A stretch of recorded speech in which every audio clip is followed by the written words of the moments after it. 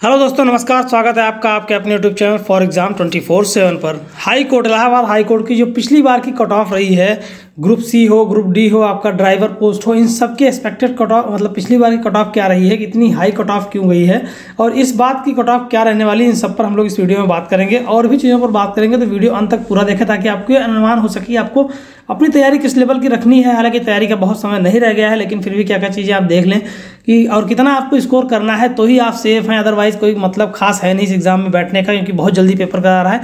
लोगों की प्रिपरेशन बहुत कम है तो पिछली बार से पढ़कर पेपर देने वालों के हिसाब से तो कम होगा, लेकिन जो चीज़ें इसमें होती हैं, जो भी चीज़ें सुनने में आती हैं, उसके अनुसार अगर ये होगा तो प्रॉब्लम बहुत होती हैं तो सलेक्शन थोड़ा मुश्किल हो जाता है। तो वीडियो आप अंत तक देखें, पूरा देखें, ताकि आपको जानकारी, अच्छी जानकारी, पूरी जानकारी हो सके। और अगर आप लोगों ने अभी तक हमारे YouTube channel for exam twenty four seven उनको सब्सक्राइब नहीं किया, चैनल को ज़रूर सब्सक्राइब कर लें, वीडियो को लाइक कर लें शेयर भी कर लें, और लोगों तक पहुंचाएँ ताकि और लोगों तक भी जानकारी पहुँच सके। तो चैनल को ज़रूर सब्सक्राइब करें, इस चैनल पर आपको सही और अधिक सटीक जानकारी सही समय पर दी जाती है। और आप लोगों के लिए एक और ज़रूरी सूचना है, Allahabad high court group C और ग्रुप डी 2023 की जो परीक्षा होने वाली है, उसके लिए अगर आप लोगों ने पेपर भरा है, फॉर्म भरा हुआ है तो इस एग्ज़ाम के लिए चक्षु प्रकाश की बुक आप ले सकते हैं, मार्केट में अवेलेबल है, जो कि बेहतरीन बुक है, जिसमें stenographer grade third junior assistant, paid driver tubewell operator cum technician और प्रोसेस सर्वर आदि और भी ग्रुप डी वगैरह की जो भर्तियाँ हैं, उससे संबंधित जो भी पद है, उसके लिए बेहतरीन बुक है, जो नए पैटर्न पर सिलेबस पर आधारित है, भर्ती परीक्षा दो हज़ार तेईस के लिए, जिसमें आपका जो सिलेबस है वो हिंदी सामान अंग्रेज़ी और गणित, ये आपका सिलेबस लगभग सब में रहने वाला है, इसी तरह के सिलेबस पर आधारित ये किताब है, जो कि बेहतरीन किताब है, जिसमें चौबीस पचास बहुविकल्पित प्रश्न पत्र दिए गए हैं, पच्चीस प्रैक्टिस सेट है, दो साल पेपर है, नवीनतम पेपर जो साल पेपर है उस पर आधारित है, हंड्रेड परसेंट गारंटी देती है सिलेक्शन की, अगर इस बुक को आप पूरी तरह से पढ़ लेते हैं। और इसके बाद इससे आधारित जो है प्रैक्टिस सेट वगैरह है, वो लगा लेते हैं तो आपके लिए बेहतरीन बुक है, आप इसको मार्केट से ऑफलाइन या ऑनलाइन कहीं से भी परचेज कर सकते हैं। ऑफलाइन आप आसपास के स्टोर से ले सकते हैं और ऑनलाइन आप इसको फ्लिपकार्ट अमेजन वगैरह से ले सकते हैं। दिए गए डिस्क्रिप्शन के लिंक से भी इसको आप मंगा सकते हैं। तो ये तो बात हो गई, हम लोग सबसे पहले देखते हैं पिछली कट ऑफ़ क्या रही है, उससे पहले हम लोग ये देख लेंगे कि आपका जो है वो क्या पैटर्न है पेपर का, आपको पता होगा, स्टेज वन जो ग्रुप डी का है वो हिंदी, इंग्लिश और जनरल स्टडी और मैथमेटिक्स है, सौ नंबर का होता है, आपका सौ क्वेश्चन आते हैं इसमें। इसी तरह से स्टेज टू भी है, सौ नंबर के सौ क्वेश्चन होंगे सेम टाइमिंग भी सेम दी गई है। दो स्टेज में आपको ग्रुप डी का पेपर कराया जाएगा, फिर आपका आता है ग्रुप सी, जिसमें आपके सौ नंबर के पेपर होते हैं। पचास नंबर की आपकी टाइपिंग होती है और पचास नंबर आपकी जो टाइपिंग होती है, वो आपके टाइपिंग पास करने के अनुसार दिया जाता है, कितने नंबर उसमें आपको मिलेंगे। उसके बाद फिर आपके और भी पेपर्स होते हैं कई सारे तो इस तरह से इसका पूरा सिलेक्शन क्राइटेरिया है। आपको आपका जो ड्राइवर पोस्ट है ड्राइवर पोस्ट में भी सौ नंबर पेपर कराया जाता है। ठीक है तो ये आपका जो है दो सौ होता है ग्रुप डी डेढ़ आपका हो जाता है। ग्रुप सी और सौ नंबर का आपका ड्राइवर का पेपर होता है, आप सभी को लगभग पता होगा। अगर हम यहाँ पर देखते हैं ग्रुप डी की कट ऑफ़ आपकी जो पिछली कट ऑफ़ गई थी, आप देखेंगे तो आप बहुत हाई कट ऑफ़ गई थी, जैसा कि आपने देखा पहले कि 200 नंबर का पेपर ग्रुप डी में होता है। अब 200 नंबर के पेपर में आप देख रहे हैं आउट ऑफ़ 200 में 193 यूआर की गई थी, बहुत हाई कट ऑफ़ होती है बहुत ज़्यादा कट ऑफ़ होती है। इससे एक चीज़ और साफ़ होती है कि पढ़कर देने वाले पेपर देने वाले अगर बहुत समय मिल जाता है तो नंबर आ सकते हैं। मान लीजिए दो सौ में एक जा सकती है। एक सौ आपकी पचहत्तर जा सकती है, लेकिन एक सौ तिरानवे बहुत ज़्यादा होता है तो इसमें और भी चीज़ें बड़ी चीज़ें इंक्लूड रहती हैं, हम इसको कहेंगे नहीं, लेकिन ये होता है। अब आपका क्या होता है कि ओ बी सी एक सौ इक्यानवे एस सी आपकी एक सौ नवासी एस टी आपका एक सौ अठहत्तर यू आर आपको जो डी एफ़ एफ़ होता है वो एक सौ नवासी D F F O B C एक सौ इक्यानवे। तो देख रहे हैं कितनी हाई कट ऑफ़ गई थी, बहुत ही हाई कट ऑफ़ गई थी लास्ट टाइम जो कट ऑफ़ गई थी ग्रुप डी की वो है।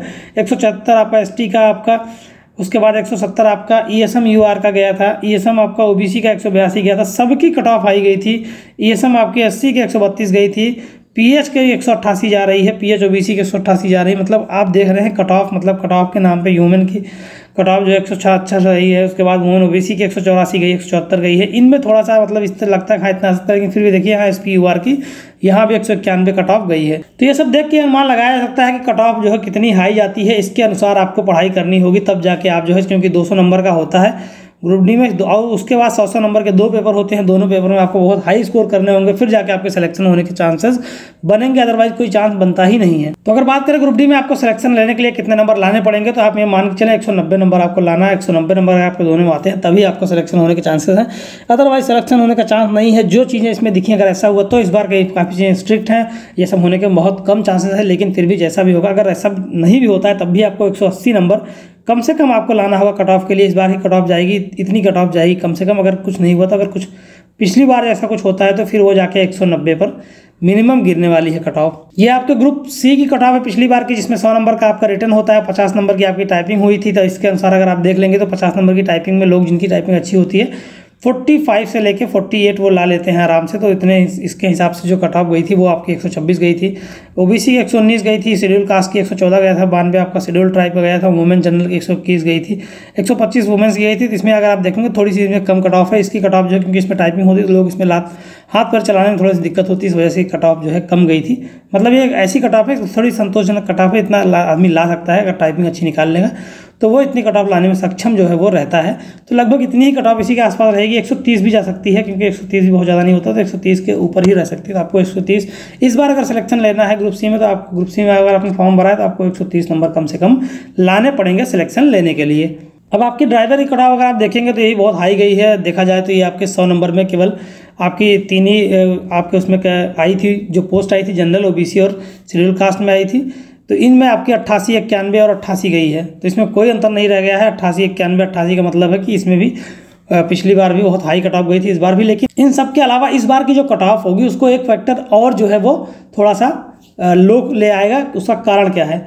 उसका कारण यह है कि आप देखेंगे कि जैसा ही फॉर्म भरा गया अक्टूबर में फॉर्म भरा गया फॉर्म भरना शुरू हुआ नवंबर तक फॉर्म भरा गया फॉर्म भरते ही तुरंत पेपर कराने का डिसाइड कर लिया गया और आपका पेपर भी शुरू कर दिया गया दिसंबर के फ़र्स्ट सेकेंड वीक से।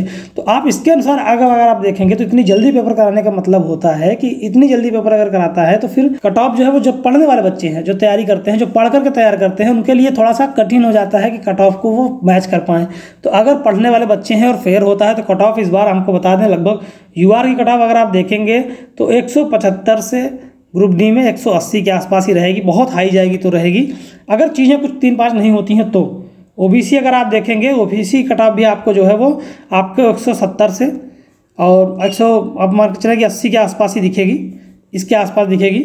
एससी के अगर आप देखेंगे तो ये भी एक सौ सत्तर मतलब वही पैंसठ से सत्तर के, पचहत्तर के आसपास दिखेगी।